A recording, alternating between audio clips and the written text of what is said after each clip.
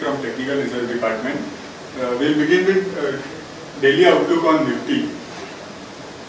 This is daily chart of Nifty. Uh, Nifty opened on positive note today, however faced selling pressure. But the selling pressure was absorbed by the end of the day and Nifty recovered uh, and posted a positive daily close. Overall, it continues to trade near the medium-term rising trend line.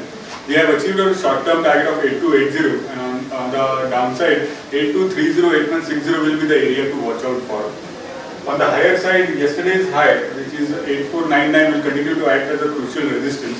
So we maintain our reversal for short-term bias uh, at 8500 and even the daily momentum indicator continues to be in bearish mode. So we hold our uh, short-term bias down for target of 8230, 8160 with reversal at 8500. This is hourly chart of Nifty. On the hourly chart, we can see that Nifty has been following in a channelized manner. And uh, in yesterday's session, it was uh, short of lower end of the channel. However, in today's session, it has achieved the channel target. That is, it has reached lower end of the channel, where bulls resting to provide some support to the benchmark index. As a result, uh, we uh, saw some bounce in Nifty uh, in last few hours of uh, last few hours of the session. The hourly momentum indicator is has touched its nine period nine period moving average, which indicates that there can be some more bounce in Monday's session. However, sell on rise should, uh, should be the strategy from short term perspective. Now we'll move on to Bank Nifty.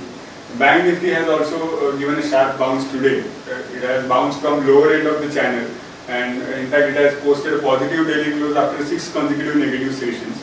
So a small continuation of so continuation of the bounce can be seen in Monday's session. However, sell-on rise should be the strategy in Bank Nifty as well. The daily momentum indicator suggests that there is further downside potential from current level. On the lower side, crucial supports are 17700 and 17500. The crucial resistances are 18250 and 18484. Thank you.